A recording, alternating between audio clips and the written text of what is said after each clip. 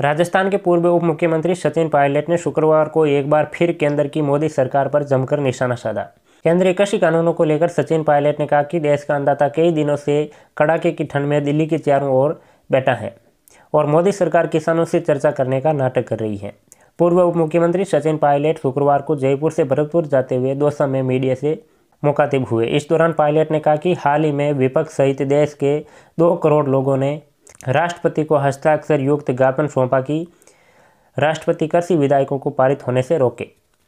उन्होंने कहा कि केंद्र सरकार कुछ पूंजीपतियों को अधिक बढ़ावा देने के लिए ये कानून लेकर आई है, जबकि केंद्र सरकार के ही अपने सहयोगी दल के मंत्री इस विधेयक के खिलाफ इस्तीफा दे रहे हैं। इसलिए अब किसानों का आंदोलन, जनता का आंदोलन बन चुका है और आम आदमी इस आंदोलन से जुड़ चुका है। प्रधानमंत्री नरेंद्र मोदी की किसान चौपाल को लेकर पायलट ने कहा कि प्रधानमंत्री नरेंद्र मोदी किसान चौपाल कर रहे हैं और देश के किसानों से चर्चा कर रहे हैं। भाजपा झूठ, फरेब और पाखंड की राजनीति करना बंद करे। उन्होंने कहा कि देश का किसान खुश नहीं है, ना विपक्ष खुश हैं और ना ही एनडीए के सहयोगी दल खुश हैं। यहाँ तक कि कुछ भाजपा नेता भी इस कृषि कानून से खुश नहीं हैं। केवल चर्चा के माध्यम से प्रधानमंत्री किसानों को साधने की कोशिश कर रहे हैं। यदि तीनों कानून किसानों के हित में होते तो आज किसान खुशी मनाते, ना कि सड़कों पर बैठते।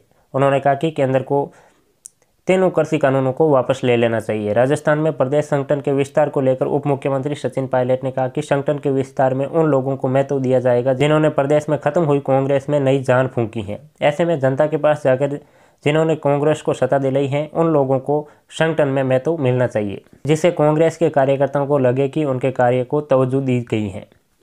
इसके साथ ही सरकार में कांग्रेस कार्यकर्ताओं का काम होना चाहिए। उन्होंने दावा किया कि राजस्थान में हमारी सरकार के पास प्रचंड बहुमत है और ये सरकार पूरे पाँच साल काम करेगी। आने वाले चुनाव और चुनौतियों का हम मिलकर सम्मान करेंगे और बहुमत से जीतेंगे।